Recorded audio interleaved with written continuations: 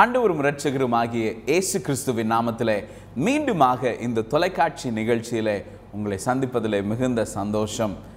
ஆண்டவர் இன்றைக்கு நமக்கு கொடுத்த தேவனுடைய வார்த்தை ரெண்டு நாளாகமம் இருபதாம் அதிகாரம் பதினைந்தாம் வசனம். சகல யூதா கோத்திரத்தாரே எருசலேமின் குடிகளை ராஜாவாகிய யோசபாத்தை கேளுங்கள். நீங்கள் அந்த ஏராளமான கூட்டத்திற்கு பயப்படாமலும் கலங்காமலும் இருங்கள் என்று கர்த்தர் உங்களுக்கு சொல்லுகிறார். இந்த யுத்தம் உங்களுடையது அல்ல தேவனுடைய தேவனுடைய பிள்ளைகளே இந்த நாளிலே கர்த்தர் நமக்கு சொல்லுகிற ஒரு வார்த்தை இந்த வசனத்தில் இருந்து எடுப்போம் என்று சொன்னால் இந்த யுத்தம் உங்களுடையது அல்ல இது தேவனுடையது. அநேக வேளைகளிலே நம்முடைய வாழ்க்கையின் போராட்டங்களை நம்முடைய சொந்த பலத்தினாலே மேற்கொள்ள முயற்சிக்கிறோம். எத்தனையோ பாடுகள் போராட்டங்கள் வருகிற நேர நேரத்தில் கலங்கி போய் விடுகிறோம் பயந்து போய் விடுகிறோம்.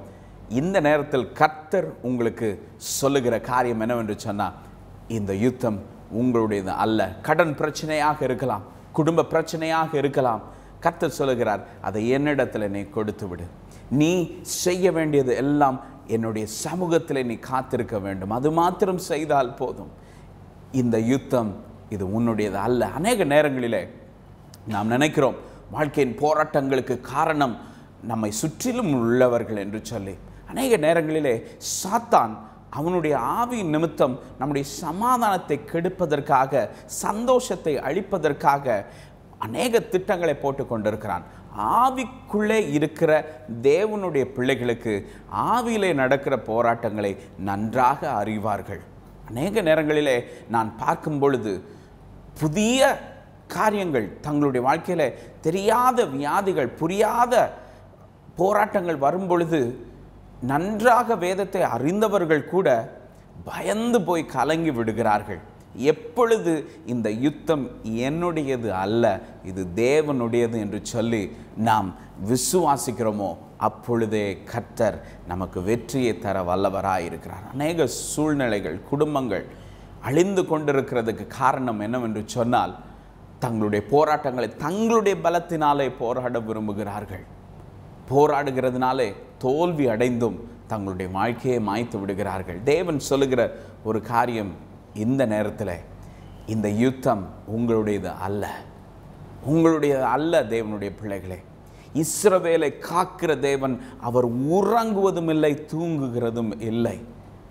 வேதத்தில் நாம் இந்த வசனத்தை நாம் வாசிக்கும் பொழுது சந்தோஷமாக உணர்கிறோம்.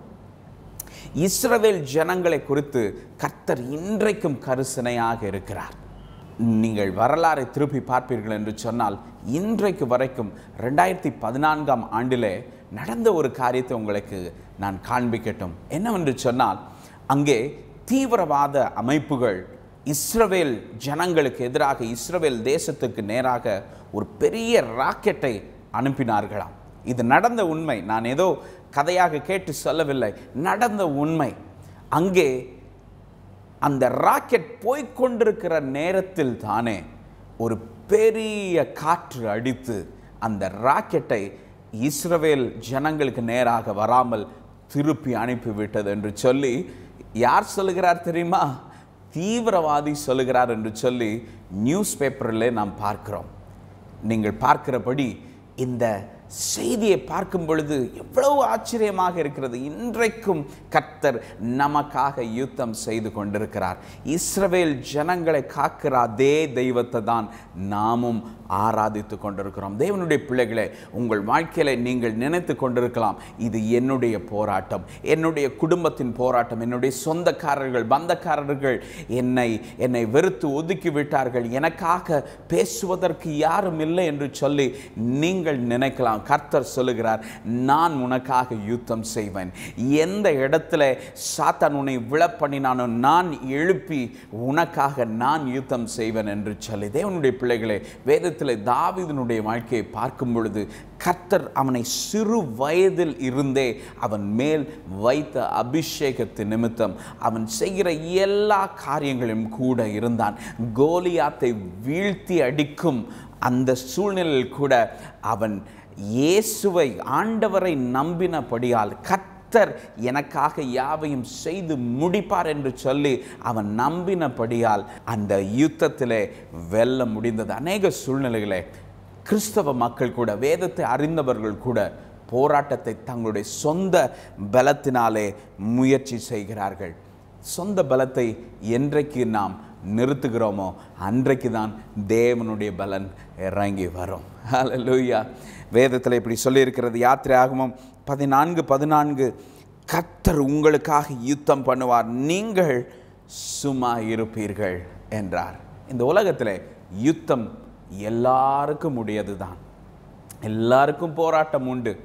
உங்களுக்கு நீங்கள் ஜெபித்து விட்டால் யுத்தமே வராது என்று சொல்லி நான் சொல்ல மாட்டேன். அது தவறான சத்தியம்.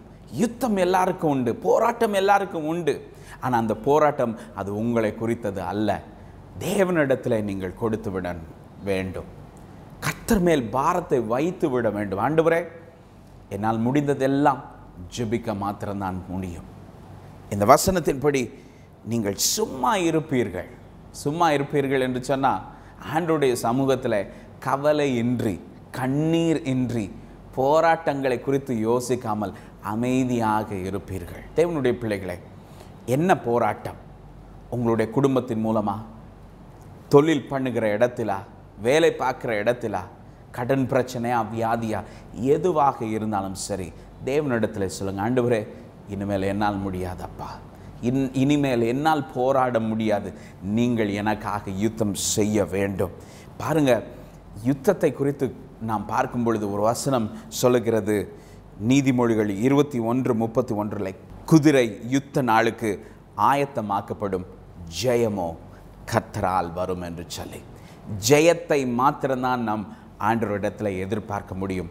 யுத்த நாளுக்கு நாம் ஆயத்தம் பண்ணுகிறோம் என்று சொன்னால் ஆண்டுடைய சமூகத்தில் காத்திருக்கிறது தான் ஆயத்தம். அநேகம் பேர் ஆயத்தம் என்று சொல்லி நினைக்கும் பொழுது தங்களுடைய பலத்தை காட்ட வேண்டும் என்று சொல்லி நினைக்கிறேன். இல்லை இல்லை. ஆண்டுடைய சமூகம்தான் ஆயத்தம். அந்த ஆயத்தத்தை நீங்கள் செய்வீர்கள் என்று சொன்னால் வெற்றி தேவனுடையது ஜெயம் கர்த்தருடையது. உங்களுடைய வாழ்க்கையில் அற்புதம் அது தேவனிடத்திலிருந்து மாத்திரம்தான் வர முடியும். எத்தனையோ பேர் எத்தனையோ பேர் அநேக சூழ்நிலைகளை சொல்வார்கள். உங்களுடைய வாழ்க்கையின் முடிவை நீ பார்ப்பாய் என்று சொல்லி ஆனாலும் கர்த்தர் உங்களை உயர்த்தவில்லையா? எத்தனையோ முறை நீங்கள் விழுந்து போய் விடுவோமோ என்று சொல்லி சோர்ந்து போயிருந்த நேரத்தில் கர்த்தர் உங்களை உயர்த்தவில்லையா? அதே தேவன் இன்றைக்கும் நமக்காக யுத்தம் செய்ய வல்லவராய் இருக்கிறார் இந்த வேளையில் நான் உங்களுக்காக ஜெபிக்கப் போகிறேன். தேவனுடைய பிள்ளைகளே இந்த வார்த்தை உங்களை தொட்டு இருக்கும் என்று சொல்லி நான் விசுவாசிக்கிறேன். ஒரே ஒரு காரியம் மாத்திரம்தான். இனிமேல் என்னுடைய பலன் அல்ல என்னுடைய தேவனுடைய பலன் மாத்திரம்தான் நான் நம்பி இருக்கிறேன் என்று சொல்லி யுத்தம் என்னுடையது அல்ல. என்றைக்கு நீங்கள் நான் போராட தேவையில்லை என்று சொல்லி நீங்கள் நம்புறீங்களோ அன்றைக்கு நீங்கள் வெற்றி பெறுவீங்க. நான் இப்பொழுது உங்களுக்காக ஜெபிக்க போகிறேன். கண்களை மூடுவோமா? எங்களை நேசிக்கிற நல்ல பிதாவே இந்த நல்ல நேரத்துக்காக நன்றி ராஜா. உம்முடைய பிள்ளைகள் யுத்த களத்தில் இருக்கிறார்கள். போராட்டத்தின் பாதையில் சென்று கொண்டிருக்கிறார்கள் ராஜா. என்னென்ன காரியங்கள் நிமித்தம் அவர்கள் போராடி கொண்டிருக்கிறார்களோ அதை நீர் அறிவீர் ஆண்டவரே. அவர்களை படைத்த தேவன் நீர் அல்லவோ? அவருடைய இருதயத்தை அறிந்திருக்கிற தேவன் நீர் அல்லவோ ஆண்டவரே இந்த நேரத்தில் அவர்களுக்கு பதில் தர வேணுமா ஜெபிக்கிறோம் ஆண்டவரே. யுத்தத்தை நீரே எடுத்து நடத்த வேணுமா ஜெபிக்கிறோம். அவர்கள் சும்மாய் உம்முடைய சமூகத்தில் காத்திருப்பார்களாக ஆண்டவரே. அவர்களுடைய தேவைகள் இன்னதென்று சொல்லி அறிந்திருக்கிற தேவன் நீர் பதில் தர வல்லவராயிருக்கிறீர். பதில் தாங்க ஆண்டவரே. உம்முடைய பிள்ளைகள் வெக்கப்பட்டு போவது உமக்கு பிரியமல்ல ராஜா. உம்மை நம்புகிற மக்கள் வெக்கப்பட்டு போவதில்லை என்று சொல்லி வேதத்தில் நாங்கள் வாசிக்கிறபடி எங்களுக்கு ஒரு நல்ல ஒரு நம்பிக்கையை தாங்க. நீங்கள் தந்திருக்கிறீங்கன்னு சொல்லி நாங்கள் விசுவாசிக்கிறோம். இதை கேட்டுக்கொண்டிருக்கிற யாராக இருந்தாலும் இப்பொழுதே அற்புதத்தை பெற்றுக்கொள்வார்களாக. இயேசுவின் நாமத்தில் ஜெபிக்கிறோம். நல்ல பிதாவே. ஆமேன். இந்த தொலைக்காட்சி நிகழ்ச்சியை பார்த்திருப்பீர்கள் என்று சொன்னால் கர்த்தர் உங்களுடைய வாழ்க்கையிலே ஒரு அற்புதத்தை செய்திருக்கிறார் என்பதிலே எந்தவித சந்தேகமில்லை எங்களோடு தொடர்பு கொள்ளுங்கள். உங்களுடைய ஜெப குறிப்புகளை பகிர்ந்து கொள்ளுங்கள். கர்த்தர் பெரிய காரியங்களை செய்வாராக. ஆமேன்.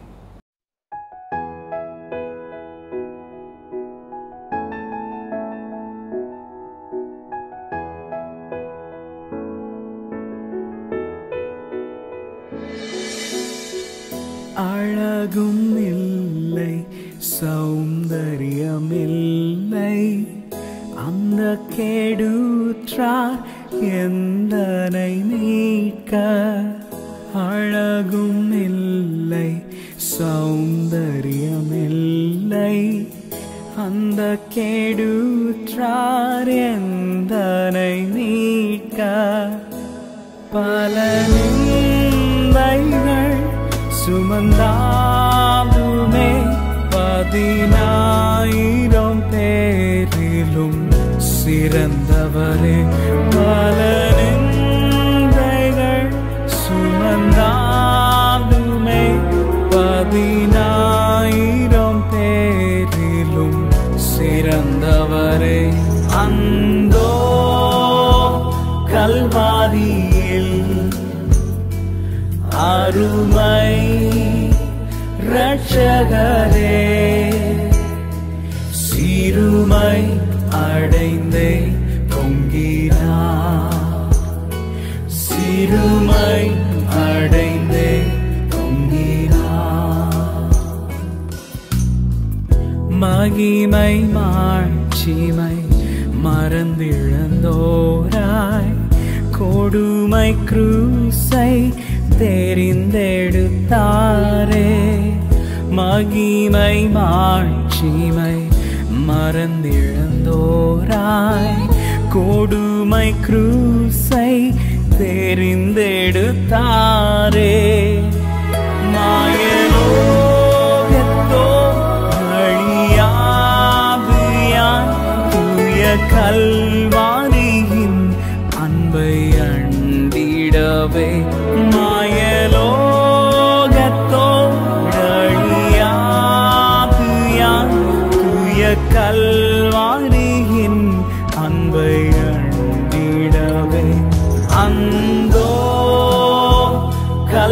கல்வாரியில் அருமை ரட்சகரே.